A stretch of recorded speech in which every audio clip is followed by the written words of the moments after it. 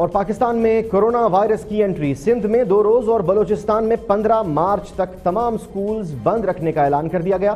صوبوں سمیت پاک افغان اور ایران بارڈرز پر بھی حفاظتی اقدامات مزید سخت کر دیے گئے۔ دوسری جانب، کراچی کے رہائشی دونوں متاثرہ افراد کا کہنا ہے کہ ان کا ایران سے وطن واپسی پر معائنہ نہیں کیا گیا۔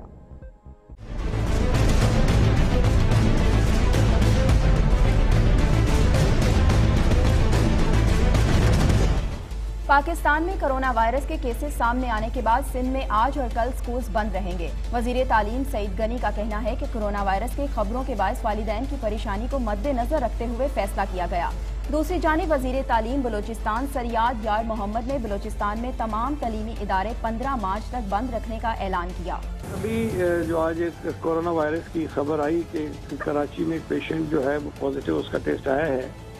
تو اس کے بعد جو اسکول کے مالکان ہیں پیرنٹس ہیں، ان کی طرف سے کافی پریشانی کا اظہار کیا جا رہا تھا اور اس پر ہم نے آپس میں کافی مشاورت کی ہے۔ کنسلٹیشن کرنے کے بعد یہ فیصلہ ہوا کہ دو دن کے لیے صوبہ سندھ کے سارے تعلیمی ادارے جو ہیں، ان میں تعطیل کی جائے۔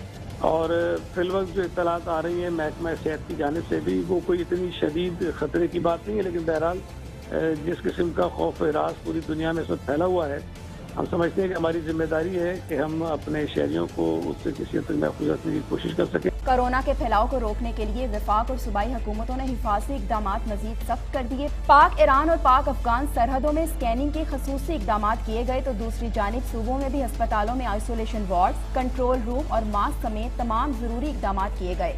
سندھ میں خطرناک وائرس کی معلومات کے لیے ہیلپ لائن بھی قائم کر دی گئی۔